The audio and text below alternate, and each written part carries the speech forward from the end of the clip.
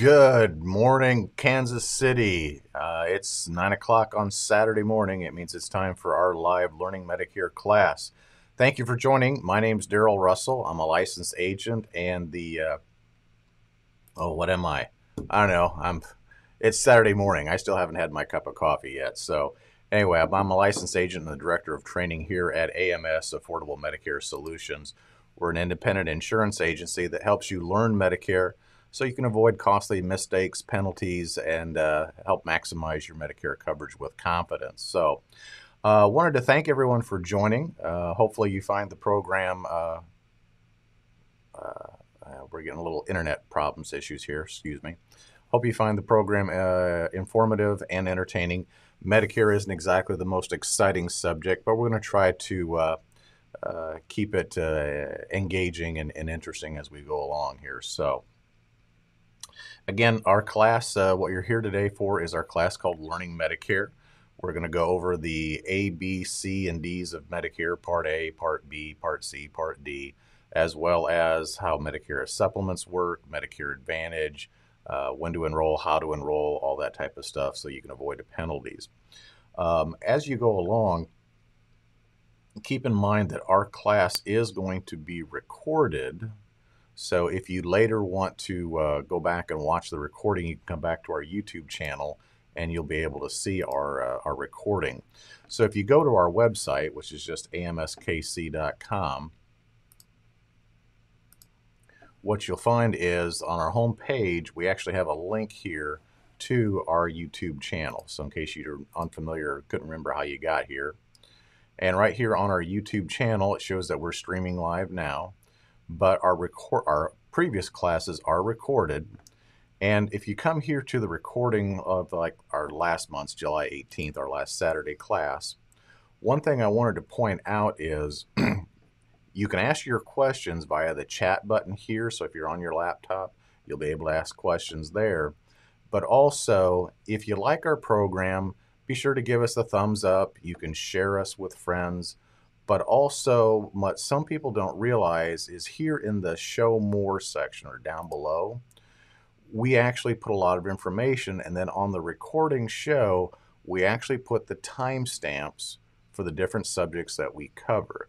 So, for example, if you were watching the show and you want to go, well, how did they talk about avoiding late Part B penalties? Rather than hunting through the recording, you can just come right here to this timestamp and it'll bring you up to that section that we covered. So it's a handy thing. We hope you find it helpful.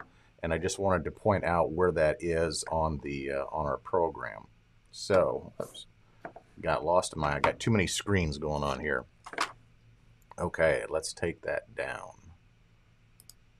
So again, if you don't mind, give us a good thumbs up. We appreciate it. It does help us um, uh, with YouTube search rankings and helps other people find us. Another thing you can do is consider subscribing to our YouTube channel. We do put out uh, videos besides just the Learning Medicare class, different topics and subjects that we hope you'll find uh, helpful um, in, in that regard. Again, if you're unable to ask questions via chat, you're maybe watching on an iPad, maybe you've got a smart TV, sometimes the chat functions aren't there. You can also send your questions via email. If you just send us an email to info at AMSKC, Justin's in the control room. I'll bring him in here in a minute to say hello. Uh, but he'll convert your questions by email into, into the live broadcast. We can also receive your questions via text. So if you send a text message to 913 361 0331, let me put that number up here. So if you put the, the up here 913-361-0331, you can send your questions via text. Justin will pick those up and relay them into the broadcast. Just to give you an idea, if you send your questions via text through the, um, the YouTube chat system, I can actually take your question and bring it up here into the into the display of the coverage. So it's kind of neat. It's kind of helpful. It helps us. It helps you. There is about a 10 second delay sometimes between that, so I'll always try to go back if we need to. Um, the other thing I wanted to point out is after we've gone through the PowerPoint slide presentation, we are going to open up the phone line here in our office. So we'll actually be able to take your phone calls live on the program. So if you have questions, you don't get them asked in the way you wanted to, write them down so you don't forget. And then uh, I'll show a slide up where we open up the phone line. I'll give you that phone number. You can actually call in. We've got the microphone set up to pick up the, uh, the uh, phone calls, and we're going to try it and, and see what that's done. After we're all done with the presentation, question and answer, we'll help you wrap up things, help you figure out your next steps, what you may or may not need to do. Again, we've got an office here in Overland Park, Kansas. Uh, we're right next to the Hy-Vee store at 95th and Antioch. Uh, so we're more than happy to help you by the phone, face-to-face, or virtual meetings. So, all right, well, I've said enough here, so let's go ahead and get started, shall we? Okay. Excuse me. Got too much stuff in the way here. Saturday morning, and I'm not a morning person. Anyway, our program today is Learning Medicare, uh, subtitled Medicare for the Soon to Retire. And again, it's a trademark copy of the uh, AMS Affordable Medicare Supplement uh, Insurance Agency. So, what we're going to talk about today is all found in the Medicare and You. I'm a big believer in being um, showing you where we get the information.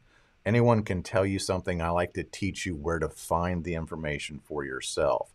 So if you have a Medicare and You booklet, everything we talk about we can reference here. This is the official U.S. government guide to the Medicare program. Plus, we also use the Choosing a Medicare Supplement Handbook, uh, again, a U.S. government guide on Medicare supplements, when to enroll, so on and so forth. Again, we're independent agents. We're not connected or endorsed with the U.S. government or the Medicare program, but I like to use official government resources so that you know the information you get is credible. And again, teaching you where to find the information for yourself. If you don't have a copy of that and you'd like to get one, what you'll find is on our website, uh, and I can take you back over there real quick. But here on our website, uh, again, just amskc.com. If you go to the home page and then look for this tab here called Helpful Resources, we actually have these documents posted. Click on the Medicare and You, it'll bring you here. Click on that, and you can actually download a copy right there to your home computer. So uh, hopefully you find that helpful and, and a good uh, uh, beneficial information for you. Okay. So, the four parts of Medicare, the alphabet soup, the A, B, C, D. Basically, what we start off with here is original Medicare, when it was started in 1965, was modeled after more common health insurance of the day that had two parts. Part A was your hospital coverage. Uh, and so, Part A of Medicare covers your brick and mortar Part B is your medical insurance. So Part A is your hospital, your skilled nursing home, that type of thing.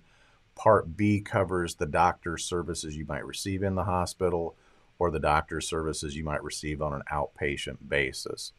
And uh, I've got a red line dividing the two uh, between A and B and C and D because Part A and B are still offered and managed by CMS uh, the federal agency that manages the Medicare program.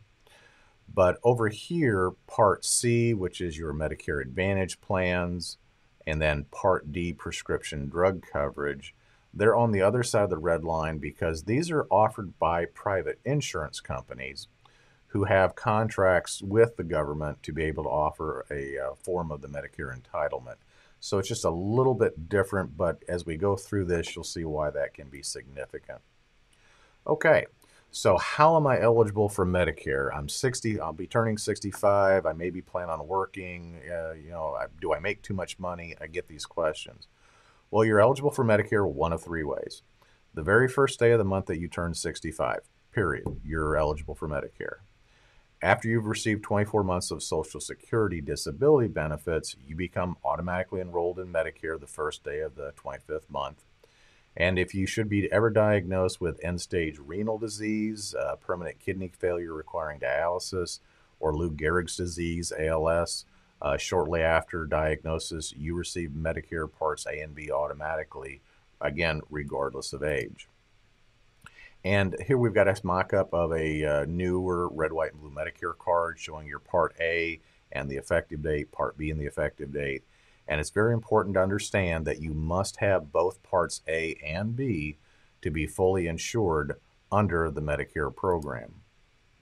So let's go ahead and take a closer look at what you get under Part A of Medicare. Well, Part A again is your inpatient hospital coverage. So it starts off when you have Part A and you go into the hospital, you will have initially in 2020 a deductible of $1,408 to pay, and then Medicare picks up all the rest of your hospital charges. And then it goes into a copay. so there is uh, no copay to you as a Medicare beneficiary for your first 60 days of inpatient hospitalization. So you pay your deductible, but there's no additional copay. Should you go beyond 60 days of hospitalization, then there is a copay of $352 a day, and then it can increase up to 704 for days 91 through 150. But I think most people would agree it's fairly hard to get uh, hospitalized that long these days. So that's your Part A. You could see additional charges under Part B for doctor, but we're going to stick with that. Here under skilled nursing, now don't confuse this with long-term care or nursing home coverage. It means you've maybe had uh, a heart attack, uh, stroke, maybe some physical therapy is needed because of knee surgery, and you're going to a skilled nursing home uh, that will provide that type of care. Your first 20 days of skilled nursing coverage for physical therapy under Medicare, it's covered 100%. You pay nothing. You only have a copay starting with day 21 to a total of 100 days in, in total, and you have the copay limited there. There's also home health care under Medicare. Uh, it's very limited, but you have no out of pocket expense for that. And then Part A also includes coverage for hospice care for the terminally ill. Excuse me, I'm going to take a drink of coffee here. Okay. So, what do I pay for Part A? Well, most people who've worked uh, 40 quarters or 10 years of Medicare covered employment are not charged a premium for Part A when they sign up. Uh, if you are a non working spouse, uh, you can claim under a, a, working spouse's record. So, again, there's no premium payment. And there is a premium possibly for Part A if you don't have the full 40 quarters. And you can see that here listed on the screen. Okay, so that's what I get for Part A. What do I get under Part B, my medical coverage? well, again, this is your outpatient medical coverage. Excuse me. So this is all of your doctor's charges. it starts off with an annual deductible, and everything with Medicare is typically calendar year. So if you see a, a deductible under Part B, this is calendar year. Uh, and that will change a little bit every year. Uh, the government has started to uh, uh, bracket uh, the deductibles to inflation. The standard premium for Medicare Part B for most people in 2020 is 144.60 per month, and that's assuming your income is below the guidelines here on the screen. and your Part B premium can go up yearly. It doesn't always, but it can. And you can pay your Part B premium through a Social Security deduction if you're drawing your Social Security benefits when you are on Medicare. If not, uh, the Medicare uh, agency will send you a quarterly bill, or you can also authorize Easy Pay, where they'll just take the deduction out uh, monthly from your bank or checking account. So, what does Part B coverage include? Well, after that deductible, Medicare will pay 80% of what they approve and you, the Medicare beneficiary, pay the other 20%. And the charges under Part B would be your doctor's services. Doctor services, possibly while you're in the hospital, your doctor visits there at his office, uh, same day surgeries, outpatient therapy. Part B covers things for durable medical equipment. That would be things like wheelchairs, hospital beds, uh, walkers, um, lift chairs, uh, oxygen equipment, CPAP machines, uh, those types of equipment for medical services. Your emergency room visits are under Part B. Most of your outpatient services, like a same day surgery, an MRI, CAT scan, x rays, lab testing, all those types of things, are generally billed to Part B of Medicare. Uh, and there is no cap on the 20%, and we'll talk about that here in a little bit. So let's give you an example of a Part B charge.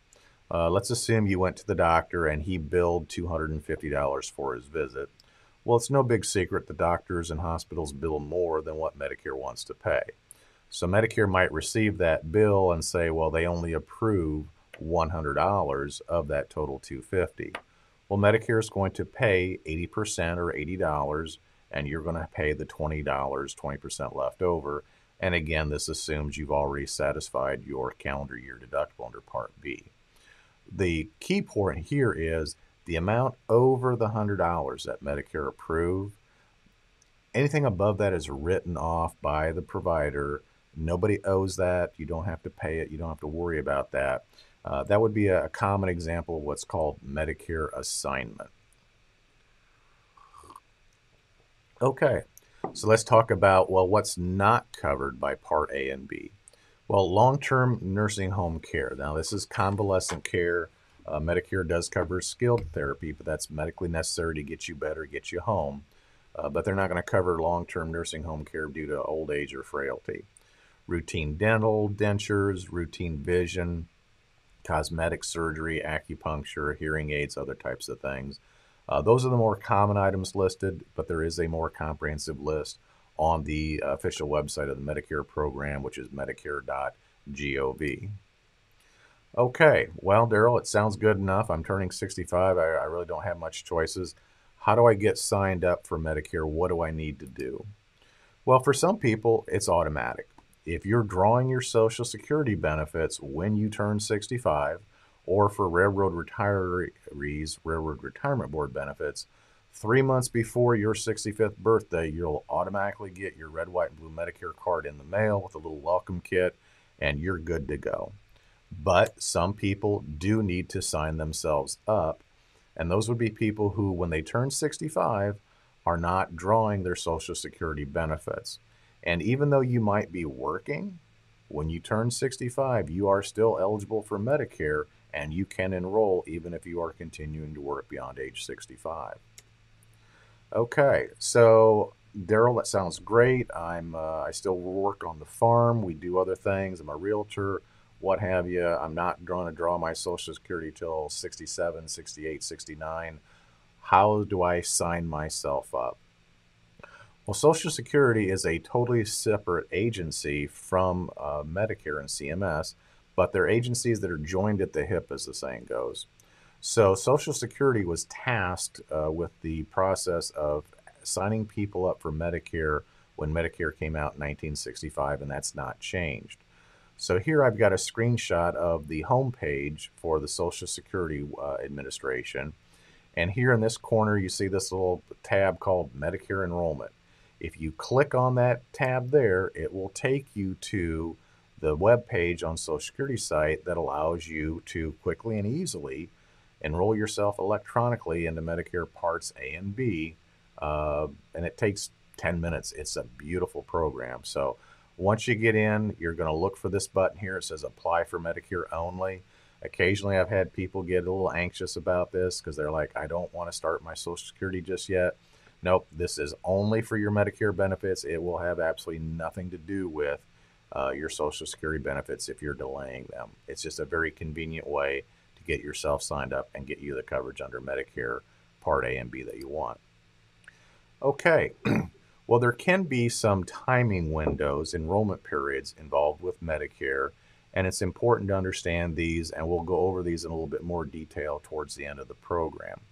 But when you're brand new to Medicare, uh, so in this particular case here, I'm turning 65, and let's say I'm turning 65 in August. Okay. You have a seven month window that you can sign yourself up for Medicare Parts A and B without any penalties uh, financially. And I like to think of the month that you turn 65 as your center point.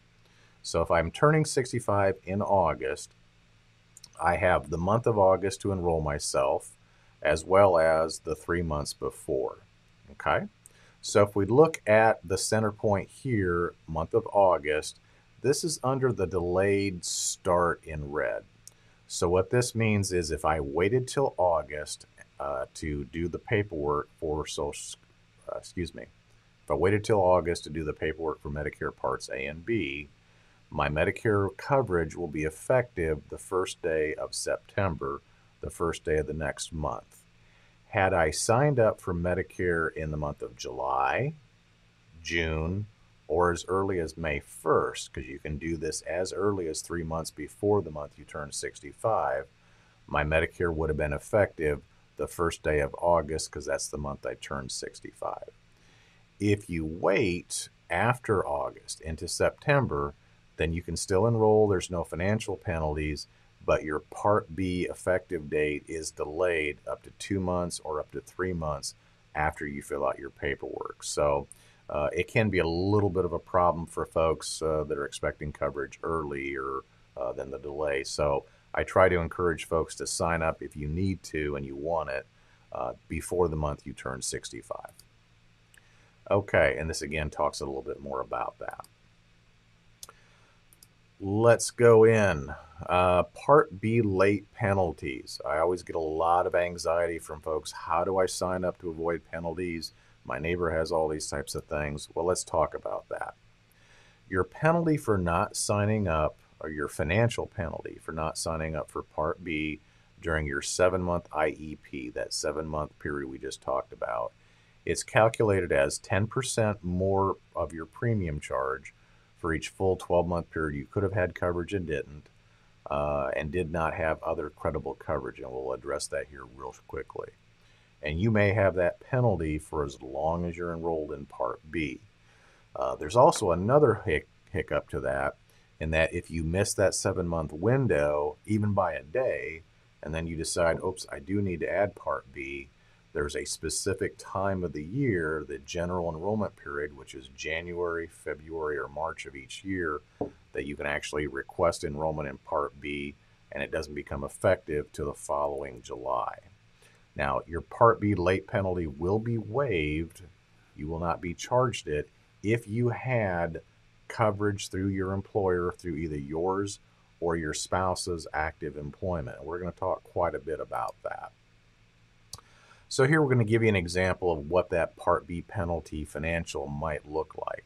So we've made up Mary here. Uh, she delayed signing up for Part B two full years after she was eligible, and she did not have employer coverage through hers or her spouse's active employment. She had Part A, she just didn't want to pay for Part B, didn't understand, didn't want to pay the premium, what have you. Now she's figured out she needs Part B and she wants to sign up. So she's going to be assessed a 10% surcharge to her standard Part B premium for each full 12 months. The penalties added to her monthly premium. So assuming she had two full years, two full 12 month periods, we take the standard premium in 2020 of 144.60. We're going to take that times 20% which comes up to $28.92. So added to the standard premium is 173.52 and the US government programs round up to the next dime. They like nice even numbers. So the rounding up would go to 173.60. So Mary would pay that premium and then if there was an increase in her Part B down the road due to inflation or Congress raises the Part B rates, the 20% would be based on the new uh, uh, Part B charges. Okay. So again, if you go ahead and uh, sign up when you're first eligible, you can delay your Medicare due to active employment, but uh, that's where you run into the problems is, is when you don't. Okay, so let's talk about Part B IRMAAs because that's another important aspect of Medicare. Uh, IRMAAs are income related Medicare monthly adjustment amounts. They're all based upon your AGI or your adjusted gross income from your federal tax return from two years ago. And there is an appeal process. We've got those forms posted on our Helpful Events webpage. All IRMAAs are paid directly to CMS, the federal agency that manages the Medicare program. So, why is that important? Well, because this is what IRMAA means. Uh, when I mentioned for most people, you pay the standard premium of 144.60 for your Part B. However, in 2020, if we look back at your 2018 tax return and you are filing jointly, but you're one penny over 170,000, your Part B premium now goes to $202.40 rather than 144.60. And you can see there's uh, four more additional income brackets there. Uh, and yes, in southern Johnson County, we've run across a few folks that were paying close to $500 a month for their Part B premiums. It is a rolling two year look back, so in 2021, it'll be based upon your 2019 tax returns. Okay, so Daryl, um, I like working. I'm not planning on drawing my Social Security till 69, 70. Uh, how does working beyond age 65 impact my Medicare decisions? Well, First of all, you need to decide do you want to stay on your employer's plan or do you want to opt out of it and go on to Medicare? And this is a very simplification, but typically people will stay on their employer's plan because they may have a younger dependent that needs to be covered under that employer plan. They prefer it versus what's open on the open market, uh, so on and so forth. In some cases, the cost to you to be on the employer plan or the coverage may be something that you prefer. It's cheaper than going on Medicare. You like the coverage, uh, what have you. Uh, and a lot of that comes down to personal choice. But in some cases, when people do the math, it may be cheaper and they may have better coverage to decline the employer's insurance and sign up for Medicare Part A and B, even though you're continuing to work. Uh, never assume that it's not. I've, I've found uh, in some cases people have paid $400 a month too much for employer insurance versus what they could have gotten under Medicare. So, and we can help you evaluate that uh, very quickly and easily. Secondly, if you're not drawing the employer's insurance, hey, ask them. If I sign up for Medicare and go off employer coverage and you don't have to pay that uh, medical premium for me anymore, can I get a raise? Never hurts to ask. The worst thing they can do is tell you no, right? Okay, so when you work beyond age 65, if you decide to sign up for Medicare Part A and B, you need to ask yourself a couple questions.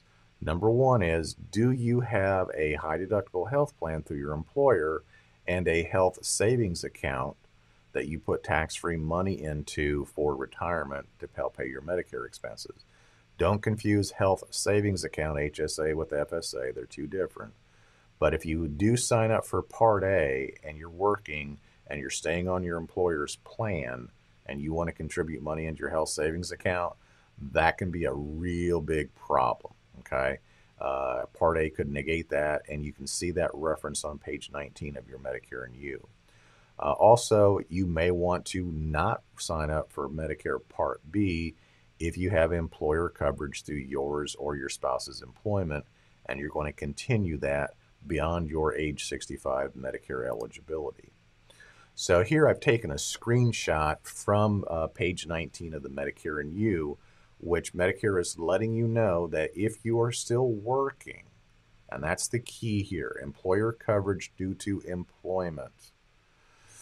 It may be to your benefit not to sign up for Medicare A and B, but there is a note here, and I stress this over and over and over again. Coverage based on current employment does not include Cobra. And we're starting to see more and more of that here locally. Uh, people uh, losing their employment uh, with COVID, with mergers, acquisitions, so on and so forth. Retiree coverage, VA, individual coverage, that would be things like uh, Obamacare through the exchanges. Uh, all of these things are not based on active employment. And if you have them, great, you want to use them but you will need to sign up, generally speaking, for your Part A and B to avoid problems and late penalties down the road. So here we've got a grid, and again, this comes from page 20 of the Medicare and You booklet. So it just shows you, according to federal laws, how does other insurance work with Medicare? What are the rules?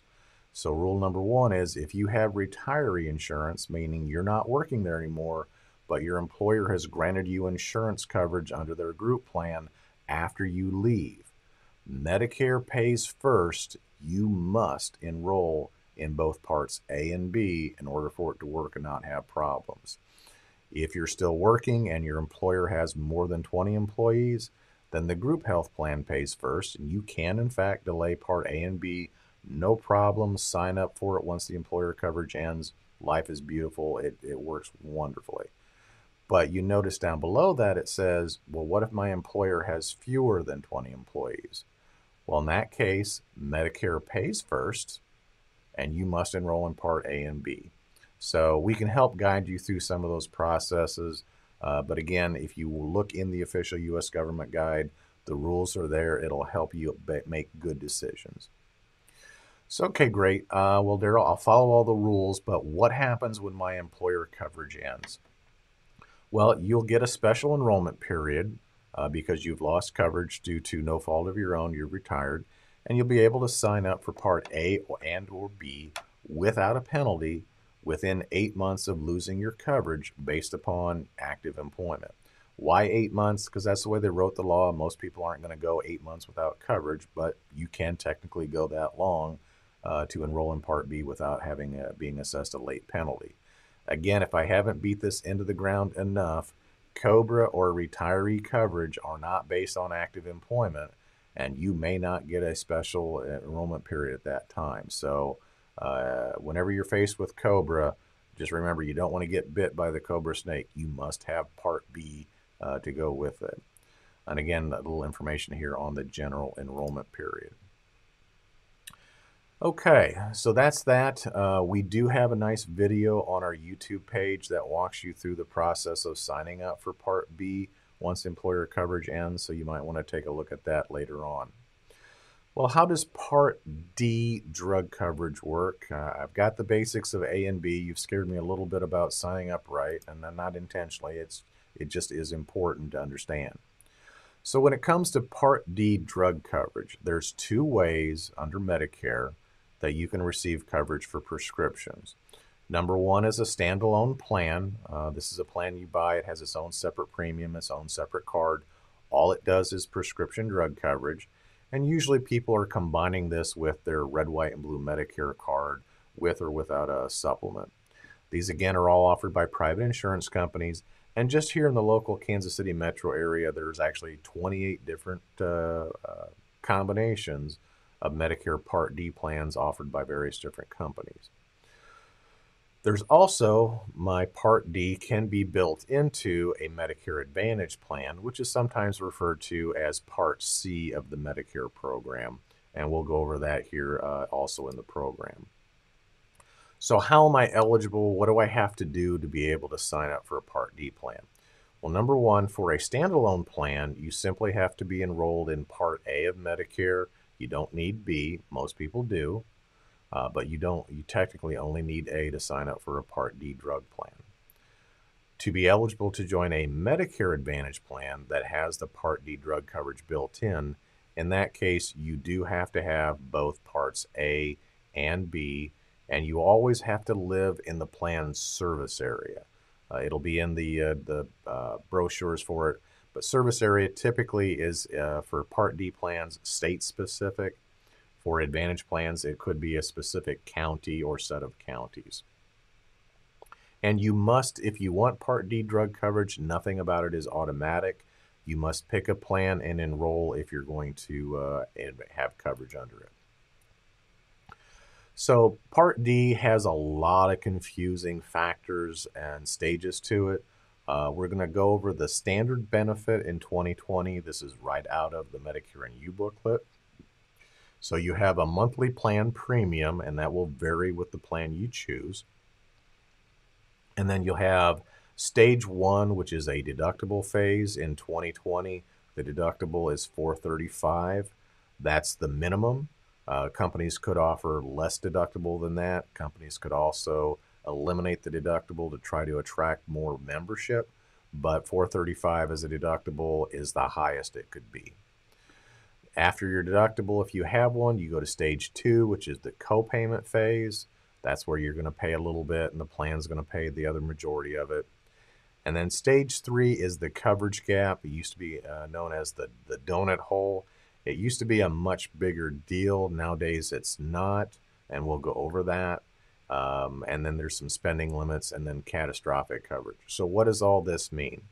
Well, there's a lot of numbers in here, and you can read it out of the book, but every time I do, this is what I get from people. Huh? So, I've come up with a paraphrase to make it a little bit easier to understand. Once your Part D coverage begins, your Part D plan gives you a checkbook, and you can pay for your prescription drugs under Part D for the calendar year out of that checkbook. And the checkbook has $4,020 in it, and you cannot add more money to that available balance. So when you go into the drugstore, the total cost of your drug is deducted each time you fill your prescription, including the deductible if you have one that is subtracted from your checkbook balance as well as your copayment, a fixed dollar amount, uh, a $5 copay, a $10 uh, flat dollar amount would be an example of a copay. Or in some cases, you may have a coinsurance, a set percentage. So, for example, let's say your drug costs $100 and your particular plan has no deductible. So, the first time you go to fill that, even if you have a copay of $25, the total cost of $100 is subtracted from your available balance. So you pay your part, you pay your $25, the plan pays 75, but the total of $100 is deducted from your available balance. So for as long as you have a positive balance in your checkbook, you only pay the copay or the coinsurance amount when you fill your prescription. And so if your math is good, uh, the total available is $4,020 for calendar year 2020. So if you divide 4,020 by 12 months, it means on average you would have to spend more than $335 uh, each month to use up your checkbook before the end of the calendar year. Now, should you use up your calendar year, that's what we just went through was part one and two. Okay. But if you use up your full balance and there's calendar year left, now you've gone into stage three, commonly referred to as the coverage gap or the donut hole of Medicare Part D. And people were very anxious about this years ago. It's changed quite a bit uh, with recent legislation because originally under Part D, when you went into the coverage gap or the donut hole, you had to pay 100% of your prescription costs while you were in the coverage gap. But now in 2020 and moving forward, uh, you still have coverage in the coverage gap. You, the, you pay 25% of the uh, drug amount. The insurance company, the Part D plan, uh, they all have to discount the other 75%.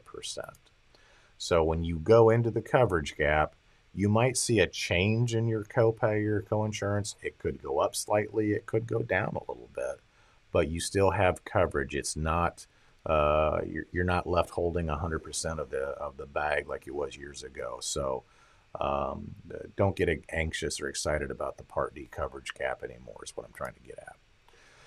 So if you're in the coverage gap, stage three, what you pay, the discounts you get, all are added up. And if it comes to $6,350 and there's still calendar year left, then you move into what's called the catastrophic phase or stage four. And during this period, your cost of your medicine goes down dramatically. You pay 5% or the greater of $8.95 for brand name, $3.60 for each generic drug. But your Part D is calendar year. So remember, that's going to start over every January. Okay. So I know that was kind of clear as mud, but again, the program is recorded. So you can go back. And if you ever have a question, uh, feel free to give us a call, shoot us an email we're more than happy to uh, help answer your questions and, and get you going in that regard. So, excuse me. Excuse me. Okay. Every Saturday morning, I seem to have just an awful dry throat. Forgive me, folks. So, Part D covers all of your prescription brand name and generic drugs that are approved by the FDA and sold in the United States. You cannot use your Part D plan to buy drugs from Canada or another foreign country insulin and supplies of insulin. There's a wide range of rules, but uh, all the plans must cover uh, the drugs in all of the CMS categories. Uh, each plan will have what's called a formulary. Formulary is just a fancy name for a list of drugs covered by the plan. So you want to look to make sure your particular prescription is covered on your plan's formulary. If it's not on the list, the plan does not have to pay. And the formularies can change every year when you sign up for a Part D plan, whether it's standalone or built into an Advantage plan. Uh, every fall uh, before October 1, the plan is required to mail you a notice of your changes for the following year. So that way, if you don't agree, you don't like the changes, you can see about switching to a different plan. And we often help people with that process. Okay, so what drugs are not covered under Part D? well, you can see the list here uh, anorexia, weight loss, weight gain.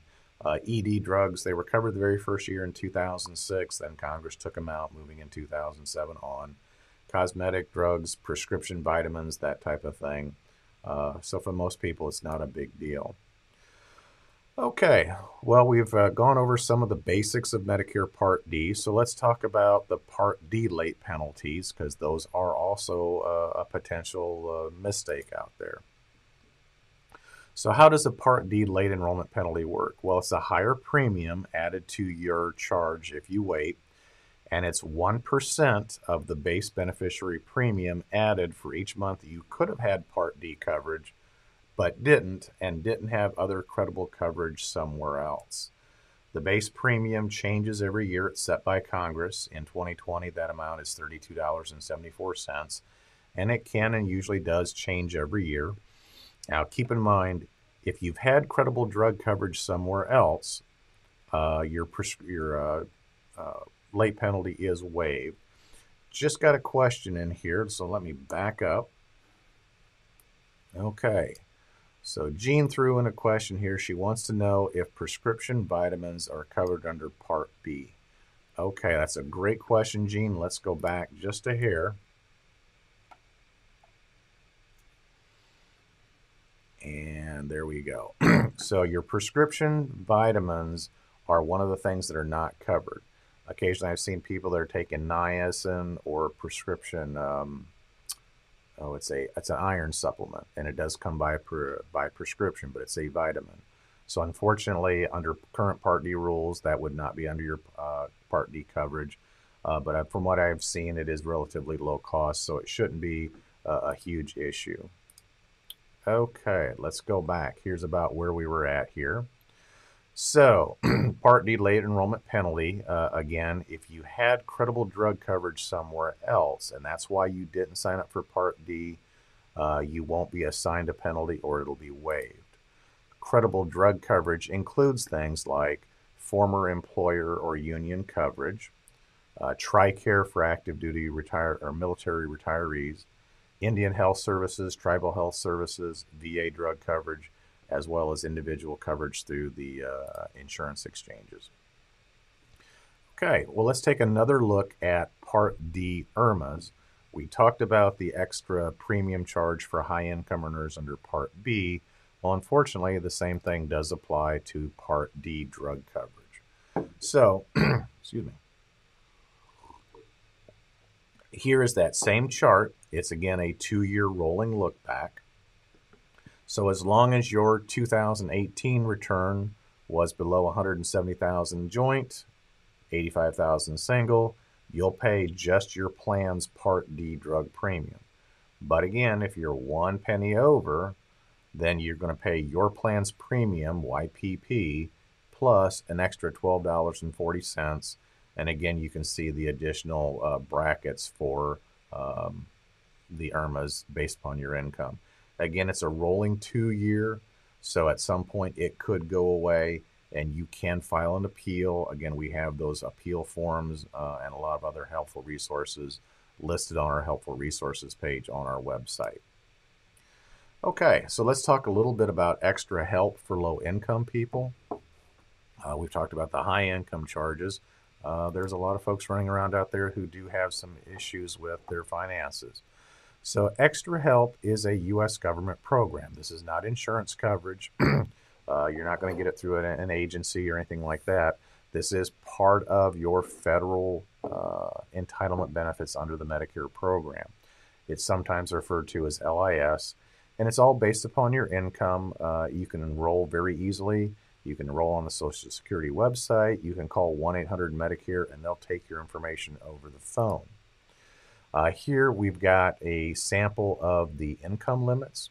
So for 2020, if your income is at or about these levels, it may be to your benefit to inquire about extra help. It could dramatically lower the cost of your prescriptions, waive a deductible, pay your premium. There's a lot of different things it can do for you. Uh, and again, it takes about 15 minutes to apply over the phone with the Medicare uh, agency. We can help you if you need a little help with that. Okay, so while we're talking about extra help programs for people with lower incomes, let's go ahead and talk about Medicaid briefly here. Sometimes people will confuse Medicare with Medicaid. They, they're very similar sounding. Well, you qualify for Medicare based upon turning 65 or disability that we mentioned. Uh, it has nothing to do with income. Medicaid is free or low cost care that comes to people solely based upon their income. It has nothing to do with necessarily with age. It's managed by the various different states and it provides coverage to low income people, families with children, pregnant women, the elderly, sometimes people with disabilities. So, again, it's just a program for low income adults below a certain uh, income threshold. So, while they sound similar, they are two very distinctly different federal entitlement programs that provide coverage to basically two different populations. And so, while it is possible to have Medicare and Medicaid at the same time, most people do not. Okay. Boy, something about my voice in the morning that does not get along with me. Excuse me, folks.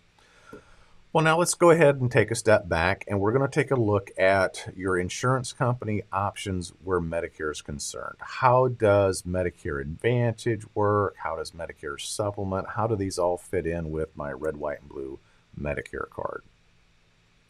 Well, here from, uh, if you're in the Medicare and You booklet in the first couple of pages, uh, it's got this graph and it's showing you that there's two ways that you get your coverage under Medicare. And I've got the red line down the middle here because they don't mix. Uh, for Star Trek fans here, this is matter and antimatter. We don't cross the red line. So we start off with option one. Option one means I'm going to enroll in Medicare Parts A and B, pay my Part B premium, and I'm going to continue to use my red, white, and blue Medicare card when I go to the hospital, the doctor's office, and I'm going to uh, pay the deductibles, the co-insurance, co-payments that set forth in original Medicare under Parts A and B that we went over early on in the presentation. Now I can choose to decide, do I want to add a standalone Part D plan? If I do, I'm going to pick my plan, fill out the enrollment forms, get a new card for just the Part D to add to my Medicare card, and typically have another premium. Then I'm also going to make a final decision. Do I want to cover the deductibles, the 20% of Medicare uh, myself, self insure it, or do I choose to enroll in a Medicare supplement, a plan that will pick up what, what red, white, and blue Medicare doesn't pay? If I do, I'm going to pick my plan, fill out the enrollment forms. I'll get a third card and I'll pay a third premium. This works very well. In this arrangement, I typically have very little out of pocket cost uh, when I go to the doctor and hospital because I'm paying that Medicare supplement premium. My other option on the other side of the red line would be to go into a Medicare Advantage plan. I still have to enroll in original Medicare Parts A and B. I still have to pay my Part B premium, but I can select a private insurance company under the Medicare Advantage program to provide me coverage for all of my services under Part A, hospital, B, doctor, and typically they include Part D all in one card. So I'll get a brand new card from my Medicare Advantage plan, and that card becomes my Medicare card, and it's the only card I show to my doctors and hospitals. There may be a plan premium, there may not be any plan premium, and these typically will have a network or a list of doctors or hospitals that I either have to use to have coverage or I should use. And we'll go over that in a little bit more detail here in the end. So again, I have two options, Medicare with a drug plan, a supplement works beautifully, or do a Medicare Advantage plan and skip uh, adding a Medicare supplement. Okay, well, let's take a look harder at what option one means. I'm going to pick a Medicare supplement, sometimes referred to in the booklets as a Medigap policy. So if you see Medigap, it's Medicare supplements, tomato, tomato. Okay, well, what do I need to know about Medicare supplements? Well, just like the name says, they supplement Medicare. Medicare pays first. They pick up the balance uh, up to what their plan design says. These typically will increase with age. You start off at age 65 with a premium. When you're 70, it will be higher.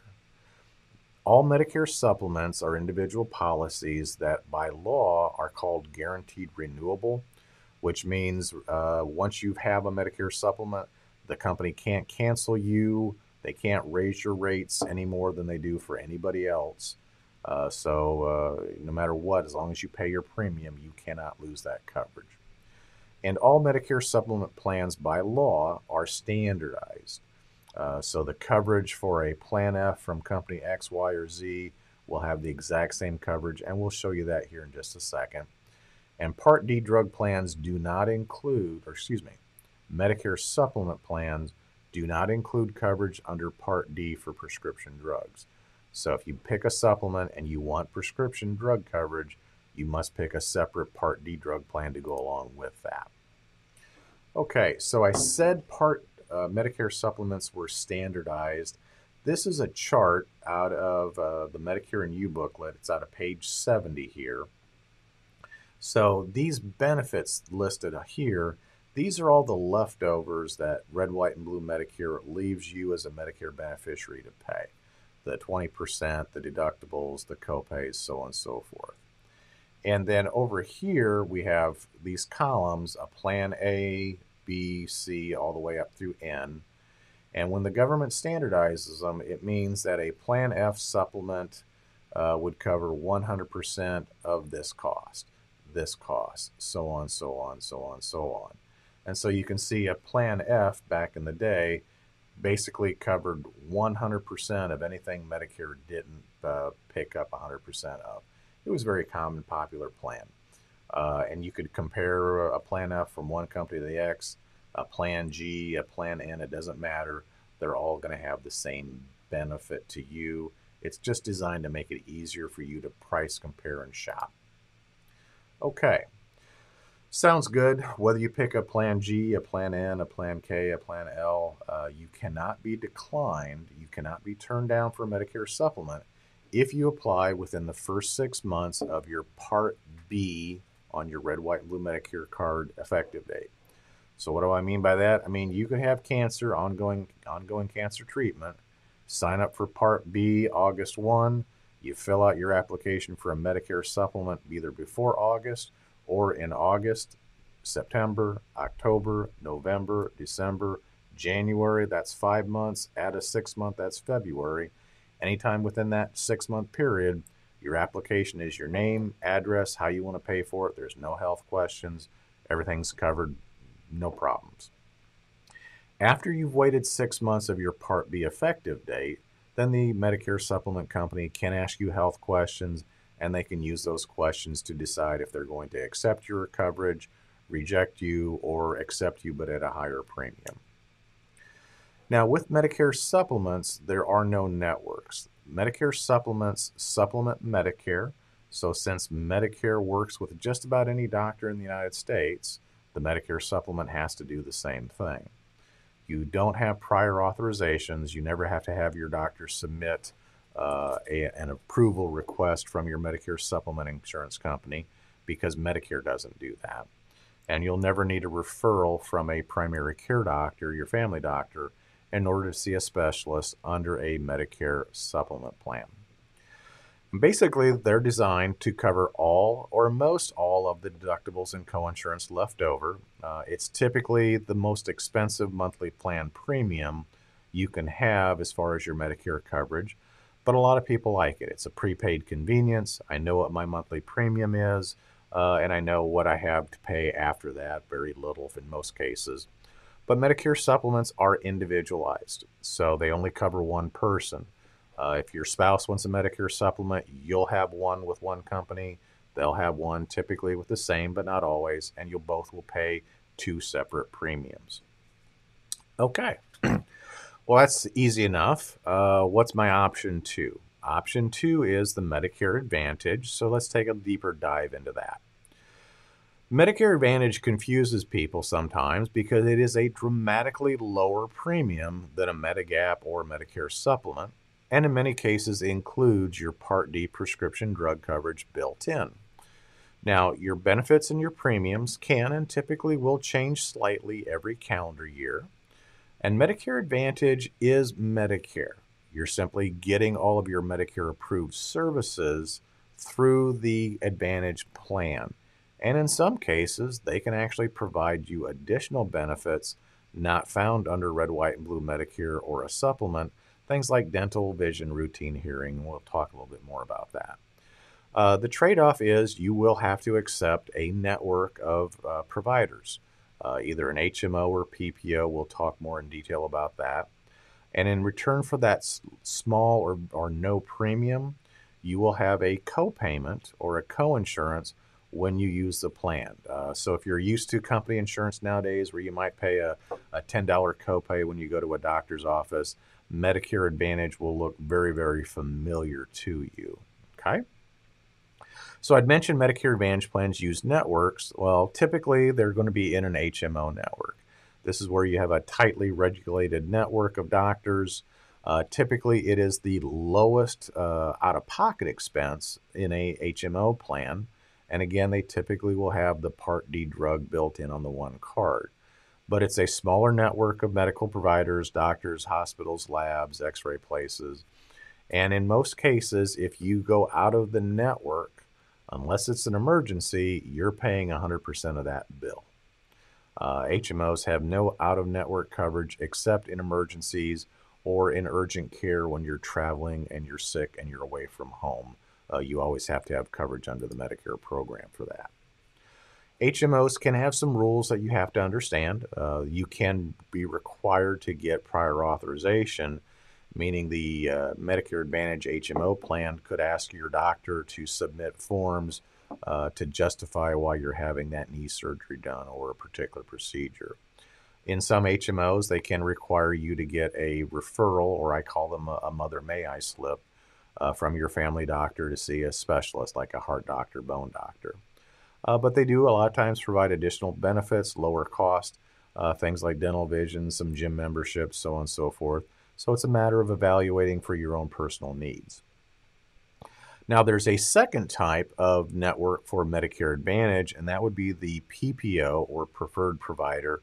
And this is a, a little bit more relaxed rules, and, and many people prefer this if they're picking Advantage plans because you have a, a moderate copay cost and moderate uh, out of pocket expense. Typically, the Part D is always built in, but it's a much richer network. You have a lot more doctors and hospitals that you can pick from. Uh, you may also have access to doctors and hospitals in the network in another state, uh, another country, uh, regions in that regard. Uh, you may have the same rules for prior authorization, but in a PPO, you never need to get referrals. The, the mother may I slip to see a specialist. And many people find it's much more uh, free. They have less restrictions than an HMO. Uh, and again, you can find additional benefits built into some of these plans, things like dental, vision, hearing, uh, gym membership, so on and so forth. So, if I can sum it up, if you're interested in Medicare Advantage or if that becomes an option for you, in an HMO, you generally will have the lowest possible cost but the smallest network, you have to use the network so you have less control, and most everything is localized.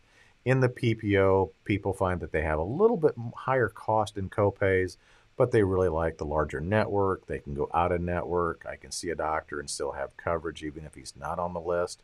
I pay more, but I still have coverage. Okay? So, all right, well, that's how the networks work. Well, what are the basics of Medicare Advantage? Well, as I'd mentioned, Medicare Advantage is Medicare. You're simply getting your doctor coverage under Part B, your hospital coverage under Part A through the Medicare Advantage Plan network. They have a contract with CMS, the federal agency, to provide you with your government entitlements, and they must follow Medicare's rules. And Medicare does not like it when Medicare Advantage plans do not follow their rules. For billing purposes, your Advantage card is your red is your Medicare card. So it's the only card you show to doctors and hospitals. You keep your red, white, blue Medicare card that you got in the mail, but you keep it home and you'll only use it if you decide to disenroll and leave the Advantage Plan company. And Advantage Plan companies do change their benefits every calendar year. And once a year, you'll have an opportunity to switch from one Advantage Plan to the other with no health questions, uh, no change in pre existing conditions, uh, all that type of thing. And we'll talk about that a little bit more here down the road. Okay. Well, how do I qualify for a Medicare Advantage? Do I have to answer health questions like with a Medicare supplement? No. You must live in the plan service area. Where is this plan offered? Uh, typically, for Advantage Plan, that will be county specific within a state. You must enroll in Medicare Part A and B, and you will always have to pay your Part B premium to the government to be eligible to qualify for a Medicare Advantage plan. But there are no health questions. Uh, doesn't matter what's going on. If you live in the county it's offered, you have your Medicare A and B, you pay that premium. In 2020, the only thing you can be asked and turned down for health wise is end stage renal disease, permanent kidney failure requiring dialysis, you're waiting a kidney transplant. That, however, goes away starting January of tw- 1st of 2021. So again, you can maintain, uh, uh, you can go into an advantage plan even if you have ESRD starting next year. Okay, well, let's take a deep breath here. We've gone over a lot of stuff. I'm throwing a lot of things at you. The, the class is designed to help you learn how to figure these things out for yourself. You're not going to be a, an expert by any stretch. Uh, I sometimes refer to Medicare as the never ending onion. You can keep peeling layer back after layer back. But uh, how do I choose? How do I choose between a Medicare Advantage plan versus a Medicare supplement? Well, let me refresh real quick. With my Medicare supplement, it's a prepaid convenience. If you like the idea of paying a monthly premium and knowing that most all uh, of my uh, out of pocket expense, whether I see the doctor one time or I have cancer and I have bills coming at me like crazy, it's all taken care of, and you don't like network restrictions, you're probably going to like Medicare supplement. Okay? The premiums do increase, and you do need to include that into your budget calculations and Medicare supplements can only pay after Medicare approves that service. So if Medicare denies the coverage, your supplement can't pay. So, for example, Medicare typically doesn't cover uh, routine dental coverage. So, if you went to a dentist and you showed him your red, white, and blue Medicare card, he billed it, Medicare turned it down, your supplement can't pay, is what I'm getting at. Okay. So here's some basic numbers. Now, again, this is an educational class. We're not trying to promote uh, one company plan or one company or anything like that. But I wanted to give you some numbers that you could kind of do a, a little bit of trying to help yourself sort it out. So here in Kansas, uh, if you're on the Missouri side, the numbers will be a little bit higher. But if you were to buy a Plan G Medicare supplement at age 65, you might be somewhere around $125 every month in premium. And then if you add a Part D drug plan, that's a separate card. That's going to be about another $20 premium. So I've got a total of $145 every month, and times 12 months, I'm going to have an annual cost of $1,740 just in premium. And that Plan G is going to pick up anything that Medicare doesn't pay up to, or excuse me, after I pay the first $198 my Part B deductible. After that deductible is satisfied and I pay it out of my pocket, I basically have 100% of my medical cost under Medicare picked up. So my total yearly premium plus my deductible, I've got $1,938 for me. Uh, if I have a spouse, then basically double that. You're still going to have drug copays separately under Part D, uh, and you don't typically have benefits for dental, vision, or hearing. But whether you go to the doctor one time, a hundred times, you pay that cost. Uh, but it is a prepaid convenience, no networks. Okay, contrast that to Medicare Advantage. Medicare Advantage, sometimes uh, we call it a, a pay as you go plan. Uh, you can get zero premium, meaning uh, as long as you pay your Part B premium to the government, the Advantage plans don't charge you anything additional. There's federal funding that makes that work. Uh, but you have copays. So some people say, well, my premium with an Advantage plan is that copay as I go, and there is a limit on how much that can add up to. Uh, copays do change every year, and you just simply have to understand and be willing to accept I may have a network of doctors and hospitals that I need to make sure I'm using uh, to get my Medicare coverage under the Advantage plan. And if you're willing to accept the network and you like how the plan works, you may find uh, some very attractive additional benefits for hearing, gym membership, so on and so forth, uh, listed out there. So I, I put together uh, a scenario here to try to contrast what some out of pocket spending might be in a typical Advantage plan versus paying that Medicare supplement premium. So here in Kansas City area, it's very common, very easy to find an Advantage plan that does not charge you uh, an additional monthly plan premium. Again, you always pay your Part B to the government, uh, but the Advantage plans don't have you uh, pay an additional premium beyond that. So let's assume you had to see your family doctor and your plan had a $5 copay for each time, and you saw your family doctor every month. So you'd have 12 $5 copays, 60 bucks. Eh, not the end of the world.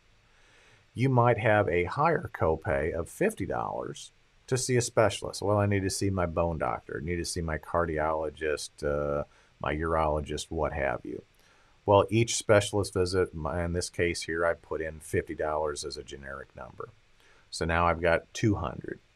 And maybe I had to go into the hospital. Well, under Advantage plans, you'll typically have a per day copay for the hospital, and that includes all services that you get. So you got three days in the hospital, three times 290, I've got 870, and you can see the copays for emergency room and ambulance visits. I think most people would agree this is a, a fairly uh, significant health utilization. Uh, if you use less services, you're going to have less in copays.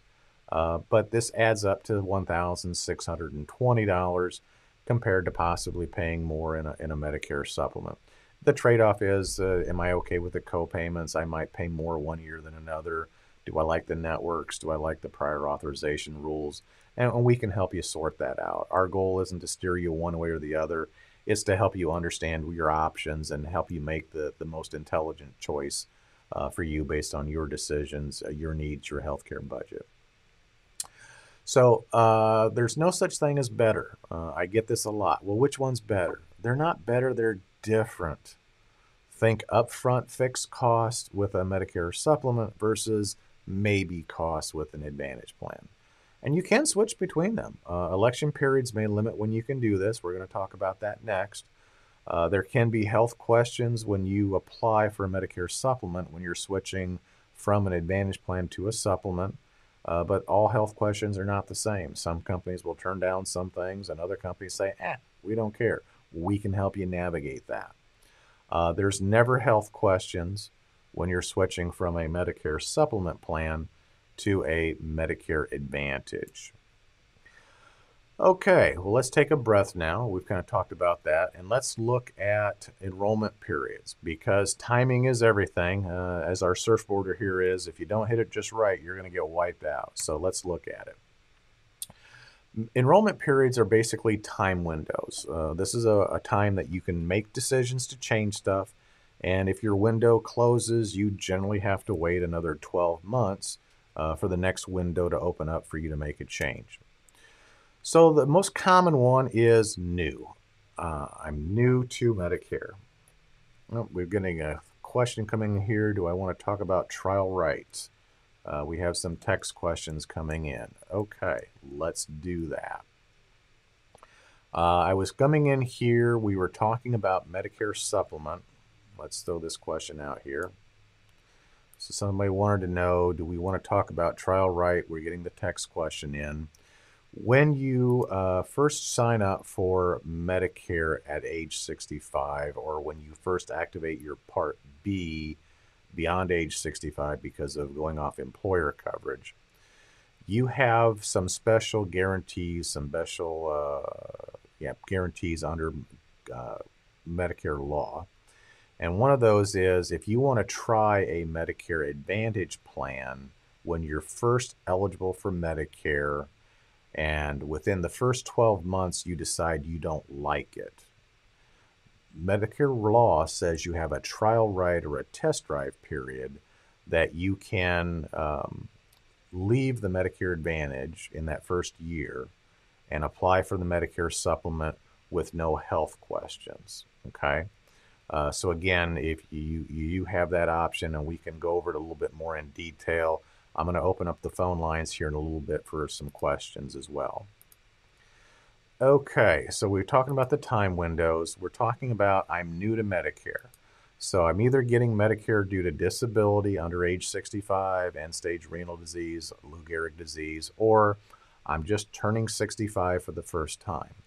This is my seven month window. Uh, my birth month that I turned 65 is my center point, three months before and three months after.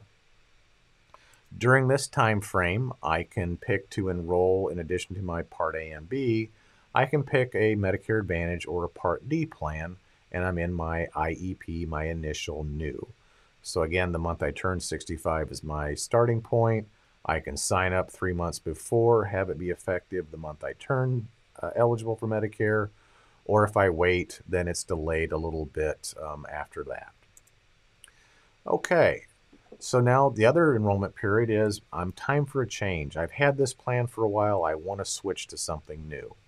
Well, that's the annual enrollment period. And uh, if you're new to Medicare, if you're within six months of your 65th birthday, You've got all kinds of mail coming into your mailbox now. Wait till you get to the fall when the annual enrollment period.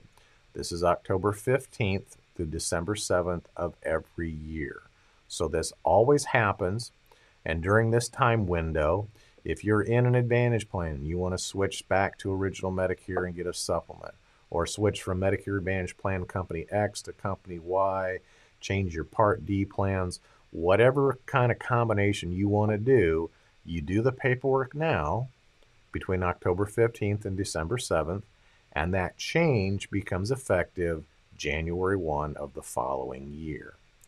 So if you're in a Part D plan and they raise the premium or they take your drug off of their formulary list, uh, you could switch. They have to notify you before October 1st. So that way, if you want to, you can look for a different plan and switch to it during the annual enrollment period. If you're happy with the plan you have, you don't want to change, you don't have to. Uh, you can stay in the plan. You don't have to do anything. It'll automatically roll over the next year. But the key thing here is once midnight, December 7th rolls around, you are effectively locked in for another year unless there's some other uh, enrollment window available to you. For my golfers, we do have uh, what I call my mulligan. Uh, this is the this is relatively new. It's called the Medicare Open Enrollment Period. Uh, this is something that isn't advertised. It's here as a as a oops. Uh, I meant to make a change during the annual and I forgot, or I was traveling, or maybe I was for whatever reason. It's strictly a switch period. It's not advertised. You won't see commercials about it, and it's only to be used for people who have a MAPD or a Medicare Advantage plan. They can switch to a different one or they can disenroll and go back to a red, white, and blue Medicare card, pick up a drug plan, and apply for a supplement. Special enrollment periods. These are more common. Uh, something has happened to you during the year that is special or unique and follows the criteria under government rules that let you switch plans even though the calendar year's uh, still on. Typically, these last for 63 days after that special enrollment period uh, event happened. So here we have some of the more common events that will trigger a special enrollment period. Uh, I didn't do a Part D plan. I didn't do a supplement. I didn't do an Advantage plan because I had coverage through an employer and I've just lost that coverage. The company went out of business. I retired, what have you. Loss of credible drug coverage, permanent move from one state to the other, uh, the Medicare Advantage trial period. Uh, we mentioned that. That was one of the questions that came in. So I tried an Advantage plan for the first year, didn't like it within that year. I want to get out um, there's a special enrollment period that lets me do that, along with uh, extra help uh, special enrollment periods. So that's kind of the the the, the overview. Again, um, Medicare can be a very complex subject. Uh, after our class today, if you want to go back and watch the recording uh, to refresh stuff, you're more than welcome to. That's what we like about our YouTube live broadcast. And you can also call us and ask questions, send us an email uh, send us a text message. We're more than happy to uh, to help you out in that regard. Excuse me. Okay, so now I want to take a look at some common scenarios. We're going to go over some things and give you an opportunity to try to apply some of the learning today to help you figure out some some issues that we run into. So I've made up a couple of Medicare people. We got Bob and Carol here. Well, it's March 2nd. Bob is 68 years old. He's retired, and he's had employer coverage through his wife Carol's employment since he was 65. He enrolled in Part A, but he didn't enroll in Part B because he had coverage under his wife's uh, insurance. Well, Carol's retiring at the end of March, and so he's going to lose his employer coverage. What do Bob and Carol need to do in order to make sure that they don't lose, they don't have any interruption in medical coverage? Well, the answer is pretty cut and dry. Bob's going to need to sign up to Part B, add it to his Part A, and Carol's going to need to enroll herself in Part A and B by March 31st in order to have coverage on April 1. Now, if Carol is signing up for Social Security, that'll be handled automatically, but nowadays most people are delaying that beyond age 65. Social Security office is going to take care of the uh, handling the paperwork. Bob is going to be asked to have Carol's employer fill out a paper form that verifies yes, the reason he doesn't have Part B for the last three years is because he's been continuously covered under Carol's plan, uh, and that'll allow him to sign up with the special enrollment period, and he won't have any late penalties. So once Bob and Carol have applied for their Part A and B, uh, they don't even have to have the card, they just have filled out the paperwork. They can start shopping for a Part D drug plan. They can decide to evaluate Medicare supplement coverage in the area. Uh, they could also choose to evaluate Medicare Advantage uh, with Part D drug coverage if uh, Advantage plans are available in the particular county that they live in. So if they do all that, it's going to run beautifully, no problems. So now we want to take a look at uh, Mary's dilemma. Uh, run into this a lot. Mary, Mary is 74 years old.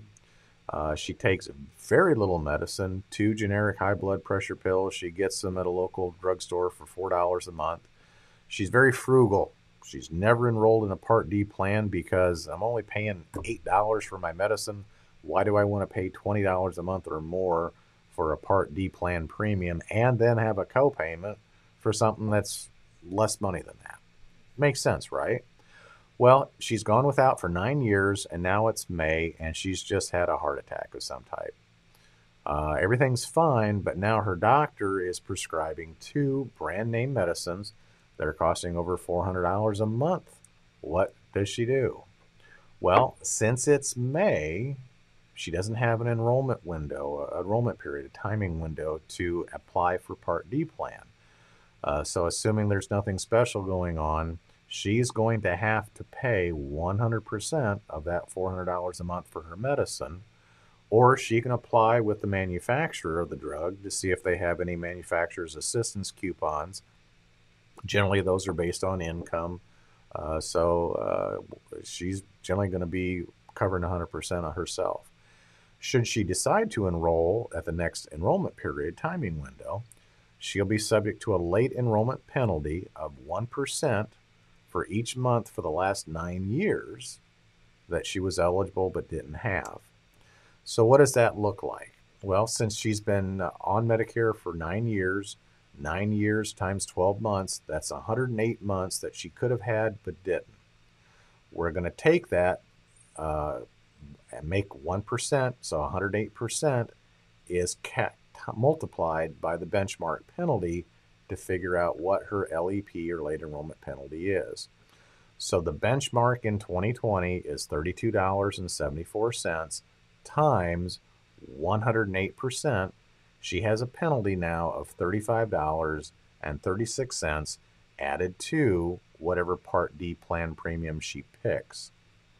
Now, remember the government likes to round up to the closest dime, so it actually is rounded up to $35.40 and that will always be there for as long as she enrolls in a Part D plan, if she in fact does.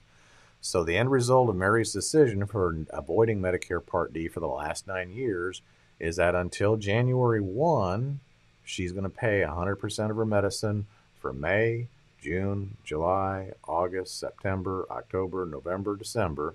If she signs up uh, for a plan on January 1, then she pays that plan premium plus that $35.40 additional late penalty for the rest of her life. Now, 108 months, 108% sounds huge. I think most people would agree.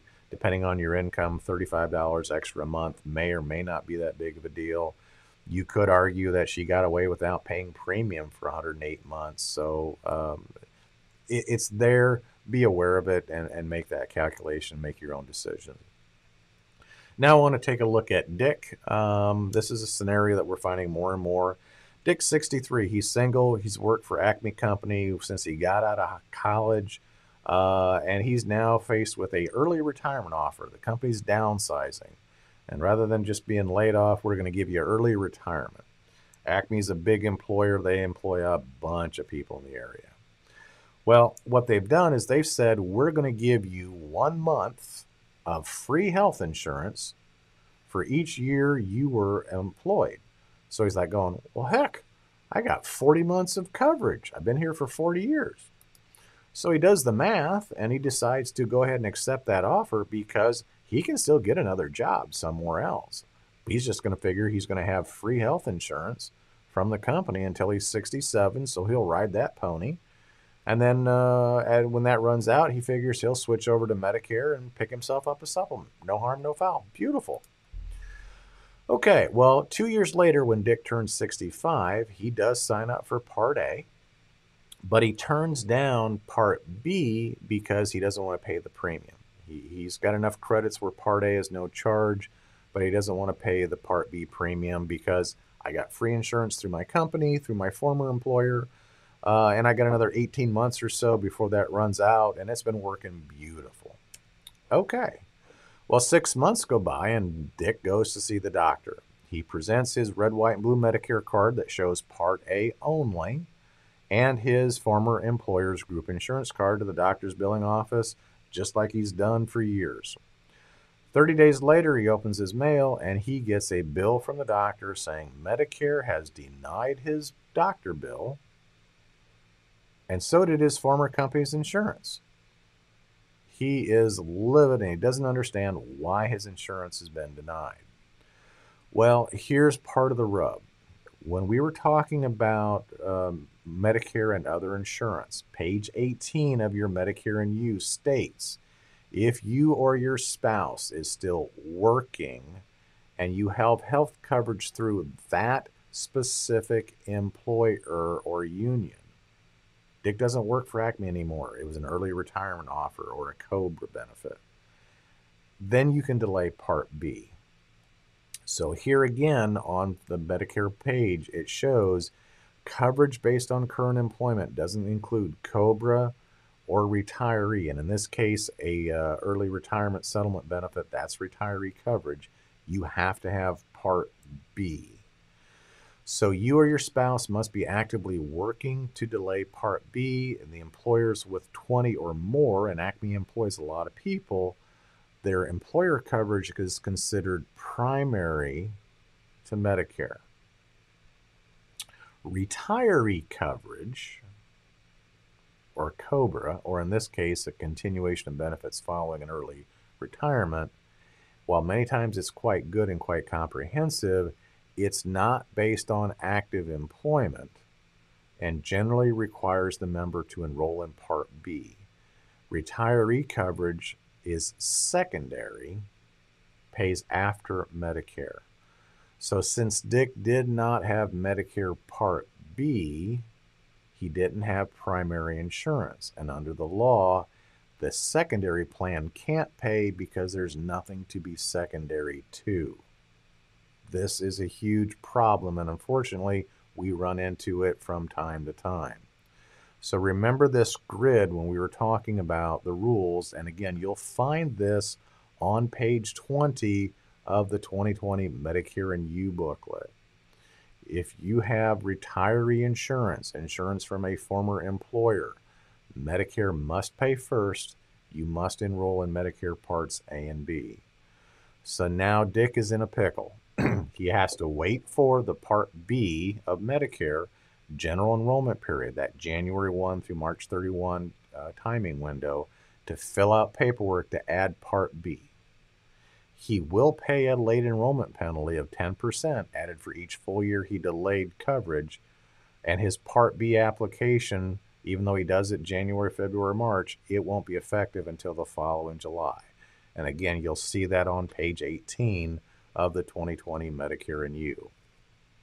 So since, since Dick has no Part B coverage until July 1, he has no coverage for the outpatient services of Part B doctor's visits, emergency rooms, labs, x rays, testing, outpatient surgeries.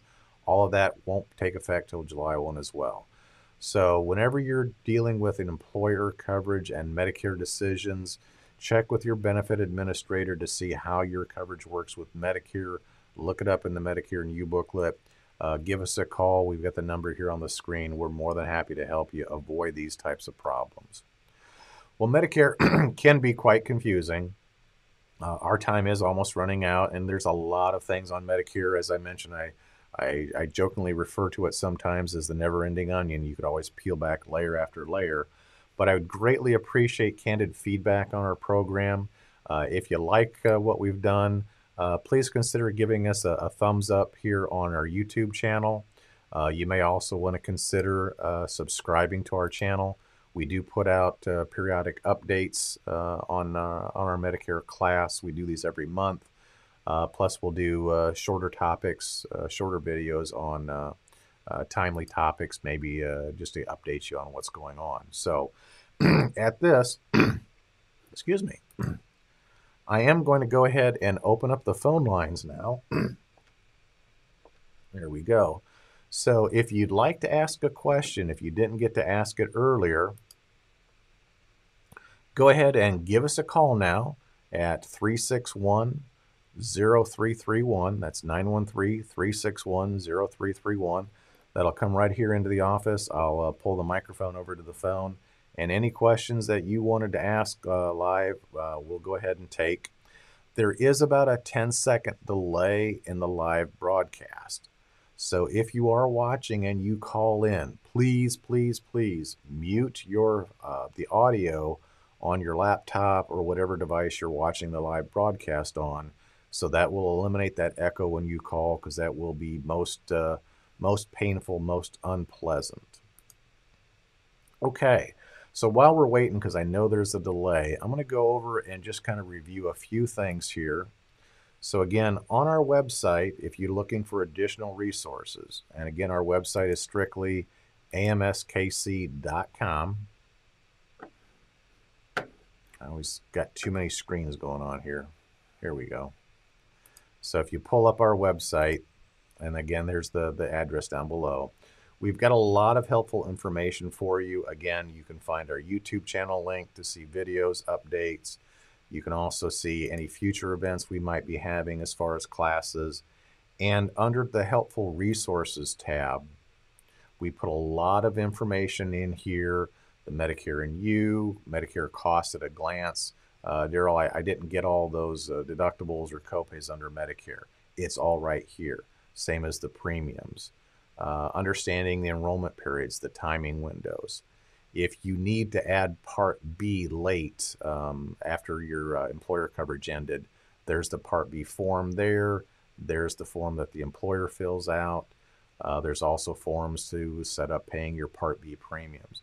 We put them all here in one place, tried to make the more common forms very simple and easy to get to. Uh, again, if you um, need additional help or resources, if you go here to our website, click our YouTube channel, uh, it'll take you right to where we've got. Uh, we do have playlists set here. The playlist will take you to uh, our videos that show updates, what we put out, our upcoming Medicare classes. We do some shorter lessons and common mistakes, and we're always putting stuff out there. So um, if you like something, give us a thumbs up. Uh, it's always helpful too. Um, it helps us to better help other Medicare beneficiaries. If you give us a thumbs up, if you subscribe to our channel, uh, YouTube recognizes that and helps push us up so that other people that are looking for information can find it as well. So we appreciate that. Okay, well, I'm assuming nobody's going to call in for questions now, so I'm going to go ahead and uh, let's wrap this thing up here. Okay. Get rid of that. Boom. Okay. well, again, I'd love your feedback. Please leave a comment if you're watching the recording. Um, give us a, feedback in the comment section below. If you got a question, give us a call. We don't bite. Uh, if you want to just send us an email, uh, our general inbox is info at amskc.com. Uh, ask your questions. We'll, we'll give you your answer back. Um, I talked a little bit about that. if you're like a lot of people, uh, you may be overwhelmed by some of your Medicare decisions. We can help you. We are licensed insurance agents. It's what we do. It's how we make our uh, our living, helping people avoid mistakes and getting the, the plan that best fits their uh, healthcare needs and budget. Give us a call. We're happy to help. Again, it costs you nothing to have us do uh, the homework for you. We're paid a commission by the companies when you enroll. So whether you want a Medicare supplement, a drug plan, a Medicare Advantage plan, we are have licenses with about 42 different insurance companies. We can quote them all for you, help you make sense of it. Uh, if you look us up on Google, uh, Google Businesses, Google Maps here, just go in and, and Google Maps, type in affordable Medicare supplements. It'll take you to our business page. We are located just south of the Hy-Vee here at 95th and Antioch, and we do have our office open for uh, in-face uh, in-office visits. Um, we can also do Zoom meetings or telephone meetings uh, if you'd rather do something like that. Uh, as you can tell, we have a lot of fun with uh, technology. I'm a self-proclaimed gadget guy, so in many cases with the uh, insurance companies' cooperations, uh, we can help you do everything over the phone and through the internet. So it's it's fairly handy. And again, whether you sign up for a Medicare plan yourself online, over the phone with a telesales organization, uh, through the mail, uh, there's a commission paid to somebody. So if we help you, we get the commission, and now you've got a local face-to-face agency that can provide you service down the road because it's not a question of if you have a problem, it's more a question of when. And most people really like the fact that as a local agency, they can call us and uh, if they want to come in and help us go over stuff. Uh, most people would prefer to talk to someone face to face, get their problems resolved, rather than 1 800 push one for this, two for that, three to throw your phone out the window. So um, I've been running this for uh, now for 27 years. I've been licensed since 1993. Uh, and my philosophy, how we run the business, how the agents that are affiliated with AMS run, um, I'm a big believer that what goes around comes around. And uh, we get what we want in life by helping you figure out what you need, and our job is to help you get what you want. Uh, and that makes uh, what goes around comes around work beautiful for everybody. So, well, that's it, folks. That's all I got. Thank you so much for attending. Again, give us your feedback. I'd love to hear your comments. Uh, give us a call, give us an email, shoot us a text. Uh, we can actually take texts on these uh, numbers here. So um, that's all I got. Thank you, everyone. Good day.